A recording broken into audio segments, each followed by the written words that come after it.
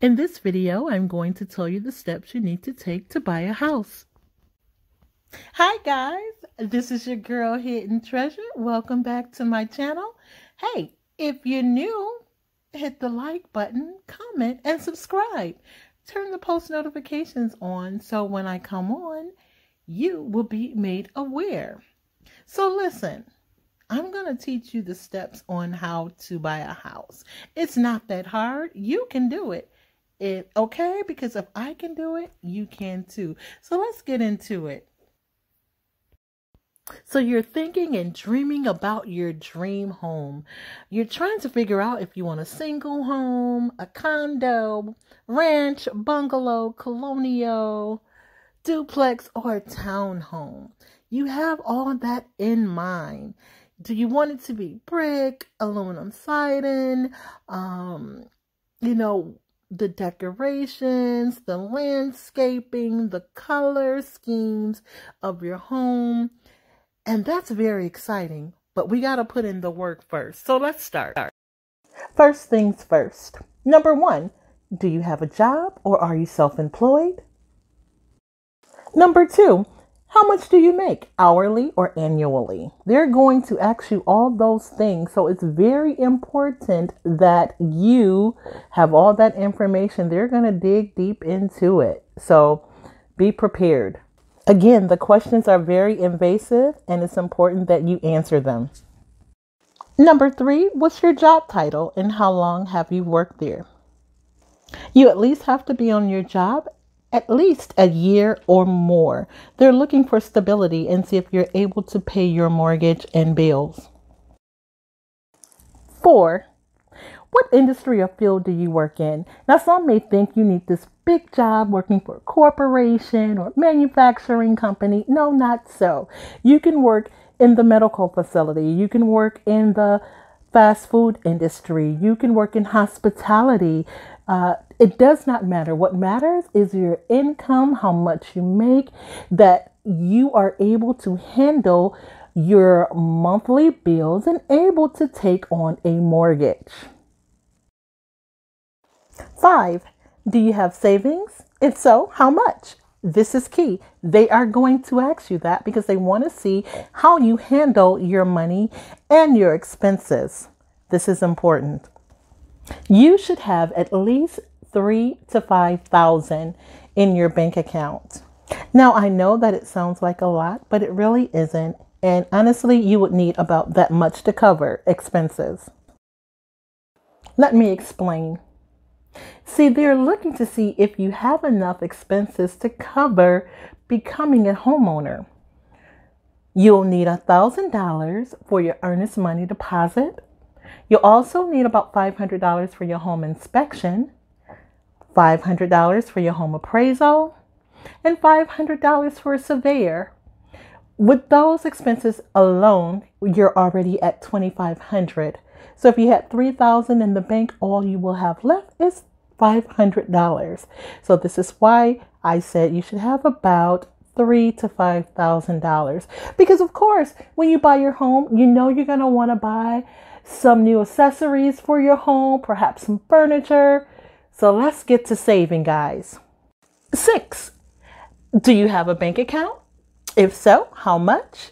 Now, we already discussed about your finances and how much you should have in your bank account. And I said three to 5,000. So now let's go over if you want to put your money in a bank or a credit union. My personal preference is credit union. Now, that choice is solely up to you, but please be reminded that they are going to ask you for about two months of your monthly statements from your banking institution. Be prepared. Seven. How's your credit? Now, this is very, very important. This is one of the first questions that the mortgage loan officer asks.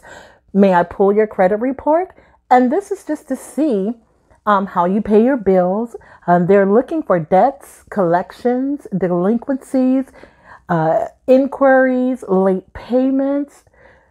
I strongly suggest that you take care of all your debt and delinquencies before contacting your mortgage loan officer so that you're already prepared.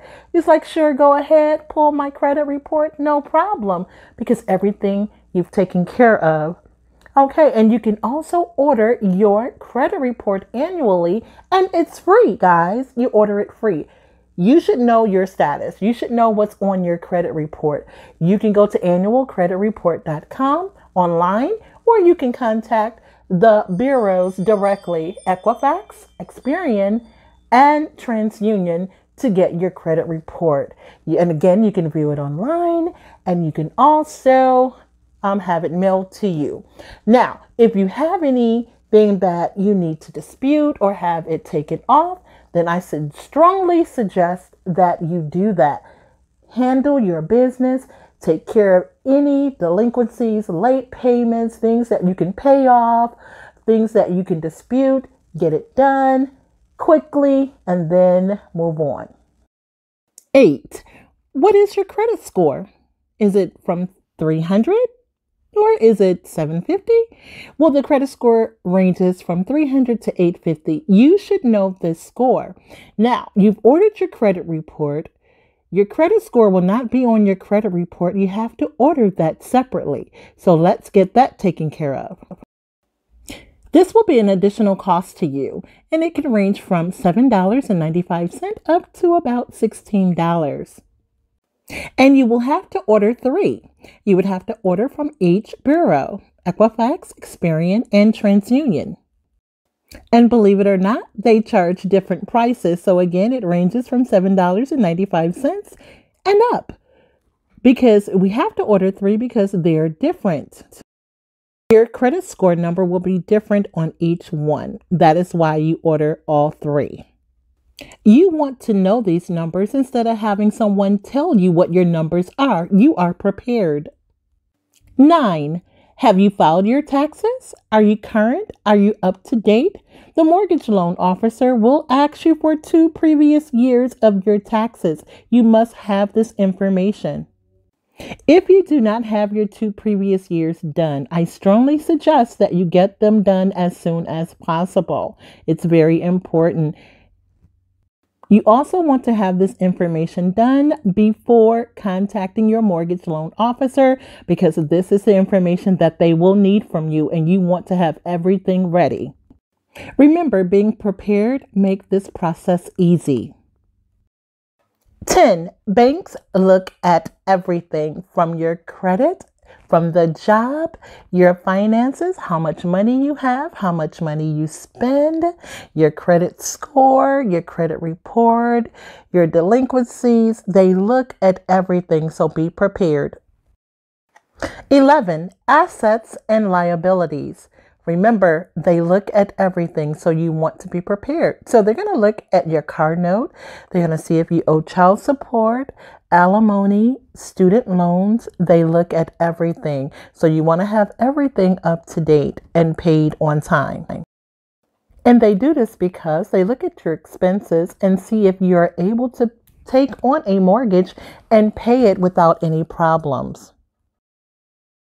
Yes, they even look at your utility bills. They want to make sure that you're paying everything on time and if there were any late payments. So please be sure to be on top of everything. Get things done. 12. Take a home buyer's class. This is very important. This is where you'll learn the difference of grants and loans and things that you may qualify for, like the FHA, which is the Federal Housing Administration, that requires 1 to 3% down. The VA, which is the Veterans Affairs, requires 1 to 3% down. The conventional loan, which requires 20% down, but you don't have to pay the PMI. Um, also, the USDA uh, loan, which is an agricultural farming loan um, where there's little to no money down.